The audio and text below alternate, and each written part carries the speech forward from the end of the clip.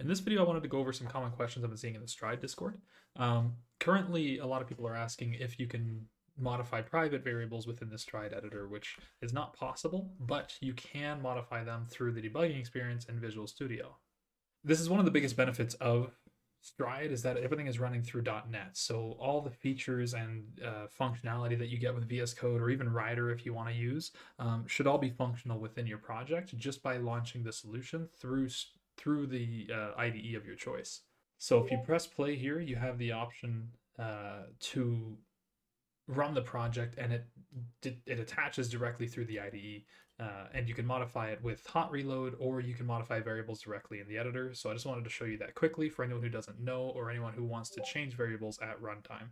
So we can see here, uh, I have a very simple example. It's just the base scene of Stride with this script attached to the sphere uh, in an update script. Um, so it's updating these variables every single frame. So if we pretended uh, if this was the player's health that you wanted to test at a certain uh, value, uh, you could easily just put a breakpoint here.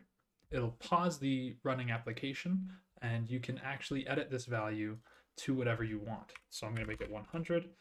And if we get rid of the breakpoint and press play again, we can see that the value is now 100 within the actual game.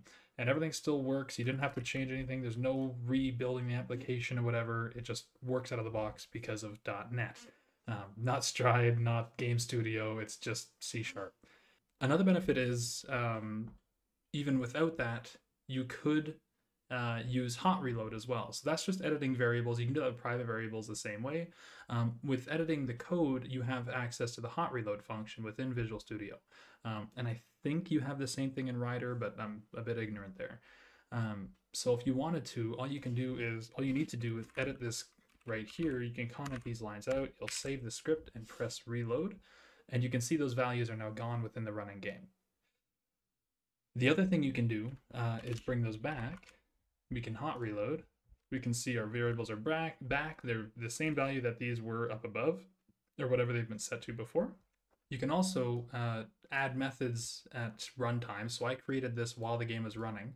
You can copy this method here. You can replace the private value and it'll get this a random GUID every single frame uh, once I reload it.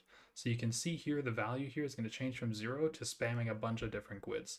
And it's just that easy. There's no this is just out of the box C sharp. You don't have to do anything fancy. If you're using code only example in Stride, you could do this as well.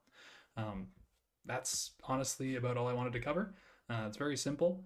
And uh, yeah, if you have any questions, let me know in the comments below and I'll answer them as best I can.